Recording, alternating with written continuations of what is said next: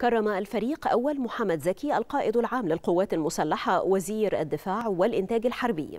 المتميزين من رجال قوات حرس الحدود تقديرا لجهودهم وتفانيهم في أداء المهام والواجبات المكلفين بها. جاء ذلك خلال لقاء وزير الدفاع عددا من مقاتلي قوات حرس الحدود وذلك في إطار سلسلة اللقاءات الدورية التي تقوم بها القيادة العامة للقوات المسلحة للتواصل مع أبنائها على كافة المستويات.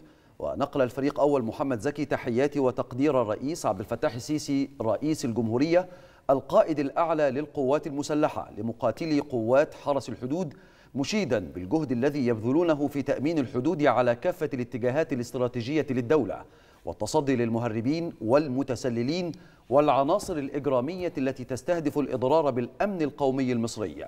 وأدار القائد العام للقوات المسلحة حوارا مع مقاتلي قوات حرس الحدود تناول خلاله تطورات الأوضاع في المنطقة والتحديات المطروحة على الساحتين الإقليمية والدولية.